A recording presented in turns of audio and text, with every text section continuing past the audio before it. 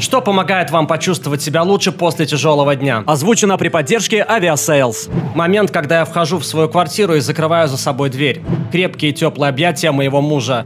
Моя ласковая кошка. Мурлыканье – это мгновенно успокаивающий звук. Долгий душ. Главное, чтобы это был долгий горячий душ. В тяжелые дни ничто так не поднимает мне настроение, как хороший плейлист с ностальгическими песнями из моего детства. В этих знакомых мелодиях есть что-то, что навевает мне счастливые воспоминания и мгновенно меняет настроение. А еще я люблю гулять на природе. Удивительно, как пребывание на свежем воздухе помогает очистить мой разум. Может быть, я в этом плане немного поломан, но на меня такая музыка оказывает обратное действие. Она вызывает у меня меланхоличное чувство и навеивает мысли о более беззаботных временах. По правде, в моем случае это просто уютная обстановка, снеки и интересный сериал. Знаете, иногда мне просто нужен такой вайб. Чудесная кружка горячего чая. Чай с мятой всегда поднимает мне настроение. Мне очень помогает время, проведенное с сыном. Просмотр видосов, на которых маленькие животные что-то делают. Мне кажутся они очень милыми, и мне становится легче от одного взгляда на этих зверушек, которые делают свои крошечные дела и чем-то занимаются. Разговор по телефону с бабушкой. Ей 83 года, и она все еще активна, но я с ужасом понимаю, что однажды ее уже не будет рядом. Я очень скучаю по беседам с бабушкой. Рекомендую тебе записать парочку ваших разговоров, чтобы у тебя где-нибудь остался ее голос. Я беру что-нибудь на вынос, обычно китайскую еду или тако, и еду на машине в красивое место. Я включаю свою любимую музыку или любую другую, подходящую мне по настроению. Даю себе 10-15 минут, чтобы выплакаться, еще 15-20, чтобы поесть, а потом иду гулять. Солнце, природа и люди, которые выгуливают своих собак, обычно поднимают мне настроение. Сон. Не в моем случае. Мой мозг тупо пропускает неудачный день через фильтр, удаляет лица и вынуждает переигрывать волнующую меня проблему с безликими людьми. Причем не важно, что это, межличностный конфликт, техническая проблема на работе, какой-то чел, подрезавший меня в пробке или любая другая тема, которая залезает мне под кожу. Мой мозг не отпускает ее, когда я сплю. Проснувшись, я чувствую себя еще более истощенным. Иногда мне везет, и у меня получается решить техническую проблему на работе, но обычно я просто чувствую неприятную тягу в животе из-за какой-то фигни, которая произошла со мной в прошлом.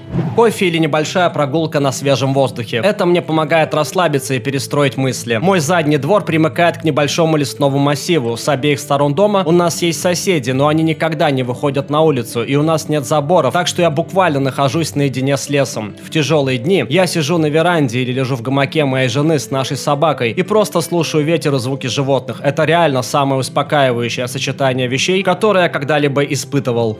Момент, когда я просто ложусь в постель и отгораживаюсь от остального мира. Я ложусь в постель и смотрю видосики с кошками.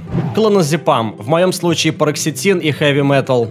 Я просто пишу младшему брату какую-нибудь тупую шутку, и когда он пишет мне в ответ свою тупую шутку, все мои проблемы тут же развеиваются.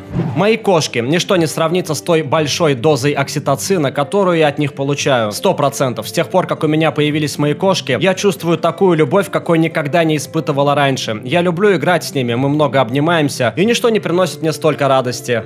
Когда я смотрю на титьки моей жены, я тоже чувствую себя лучше, когда смотрю на титьки твоей жены. Классные они, правда? Понимание того, что я — это не мои мысли или любой другой ложный конструкт, с которым меня ассоциирует мое эго. Острая еда, кофе или горячий шоколад, особенно ночью. Придя домой с работы, я переодеваюсь в свою самую мягкую удобную футболку и снимаю лифчик. Я не говорю, что это правильно, но алкоголь. Обнимашки с моим питомцем. После них я всегда чувствую себя лучше. Его безусловная любовь и забавные выходки мгновенно поднимают мне настроение в трудный день. Прогулки в парке среди деревьев, созерцание природы. Мой муж, я знаю, это банально, но когда я прихожу домой и он обнимает меня своими большими руками, я чувствую, что наконец-то могу вздохнуть и сбросить весь груз с плеч. У меня сильная тревожность, и я очень нервничаю в окружении общества. Возвращаясь домой и оказываясь вдали от чужих людей, проводя время с мужем, мой день становится намного лучше. Мой трехногий кот, который был со мной в течение самых трудных пяти лет моей жизни, он буквально спас меня. Он бы не понял, если бы однажды не вернулся домой. А после развода и пандемии, когда вся моя жизнь катилась в ад, забота о нем была буквально единственной причиной, которая помогала мне жить дальше. Тренажерка. Да, когда я занимаюсь спортом, у меня так перехватывает дыхание, что я даже думать не могу о том, что меня парит. А после я выхожу из спортзала с зарядом эндорфинов и чувствую себя намного увереннее в себе. Спорт реально помогает. Холодное пиво. Почему этот ответ так низко? Любители пива часто подвергаются преследованиям за свои убеждения. Мои собаки поднимают мне настроение просто потому, что они очень сильно радуются, когда меня видят. Приятно осознавать, что кто-то любит меня настолько, что бежит встретить встречать, виляя хвостом и желая, чтобы я почесал их зад. Я устраиваю небольшой сеанс йоги у себя в кабинете, а мои кошки присоединяются к моему веселью. Теплая чашка чая и уютный плед всегда поднимают мне настроение в тяжелый день. Есть что-то невероятно успокаивающее в том, чтобы замедлиться и насладиться простым моментом умиротворения. Объятия. Не знаю почему, но объятия мне реально очень помогают. Мой день за секунду превращается из плохого в хороший. Очевидно, никто из вас не страдает депрессией. Хм, я думаю, тут просто нужно применять разные стандарты. Если у вас нет депрессии, то прогулявшись на улице, ваше настроение может смениться с «этот день дерьмо» в «эй, жизнь может быть вполне неплохой». Если у вас депрессия, то прогулявшись на улице, ваше состояние может смениться с «это буквально конец» в «ладно, черт возьми, думаю, что сегодня я не умру». Газировка имеет странную власть над моим организмом. Типа я даже обсуждал это со своим психиатром, когда мы разговаривали с ним о том, какие препараты я принимаю. Выдался дерьмовый день, бахаю ледяную банку доктора Пеппера, которая бьет мне прямо в мозг. Ух, кнопка перезагрузки, я снова человек. Большая чашка макарон с сыром, потому что углеводы и сыр могут пофиксить почти все. Смотрю видосы с реакцией на фильмы, сериалы на YouTube. Честно говоря, я даже не могу сказать, почему они меня так успокаивают. Музыка. А еще я начала чаще гулять по ночам после поздней смены. Это такая разрядка для тела и души. Пара слов от моей женщины. Честно говоря, на протяжении последних 23 лет мы присутствовали в жизни друг друга в том или ином качестве, и я до сих пор радуюсь каждому ее звонку. Ее голос делает мои классные дни еще лучше, а самые тяжелые выносимыми. Она такая классная. Здоровая еда. Я знаю, что это странно, но я говорю сейчас про какие-то реально вкусные штуки, вроде фасоли, свежих овощей, приготовленных с оливковым маслом и чесноком, йогуртовые соусы, например, огуречный или чесночный йогуртовый соус, запеченные и вкусные кабачки, злаки и ароматы свежих трав, типа мяты или базилика. Здоровая пища, которая при этом сытная, каким-то образом заставляет меня чувствовать намного лучше. Тренировки по бразильскому джиу-джитсу. Честно говоря, даже не важно, надираю ли я кому-то задницу или ее надирают мне. После трения я всегда чувствую себя лучше, независимо от того, насколько плохим был мой день. Мне помогает встретиться с кем-то, выпить и просто весело поболтать. Маленькие взаимодействия с людьми помогают сделать жизнь выносимей. К сожалению, физическая нагрузка. Я говорю к сожалению, потому что после долгого хренового дня мне меньше всего хочется потеть или выплескивать энергию, но это работает в 100% случаев. Пробежка в парке или поездка на велосипеде. Физические упражнения повышают уровень эндорфинов и высвобождают дофамин, гормон счастья.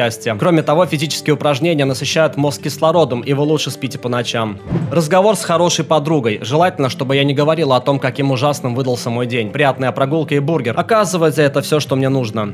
Работа над каким-нибудь проектом хобби, когда я погружаюсь в него с головой и просто отпускаю свой день. А вот всякая рутинная работа по типу стирки вещей или стрижки газона мне не помогает. Мне очень нравится готовить, для меня это важное занятие. Так что простая нарезка лука меня реально способна отвлечь. Придумывание или опробование нового рецепта уведет меня от ненужных мыслей. У меня есть и другие интересы, каждый из которых способен помочь мне, когда я чувствую сильный стресс. То, как мой кот Мерлин встречал меня у двери, когда я возвращался с работы. К сожалению, примерно год назад мне пришлось его отдать, потому что моя бывшая жена потребовала с меня еще больше алиментов, а я не мог оплачивать аренду своей квартиры и вынужден был переехать к родителям, а те категорически запретили мне брать Мерлина с собой. Сейчас он живет с моим лучшим другом, и я вижу его раз в пару месяцев или около того. Друг говорит, что кот примерно день или два пытался меня отыскать, когда я уехал. Но когда я прихожу к нему в гости, он почти все время сидит у меня на коленях или на спинке дивана, вылизывая мне макушку. Конечно, до тех пор, пока ему не захочется есть, потому что тогда он идет на кухню и требует, чтобы его покормили.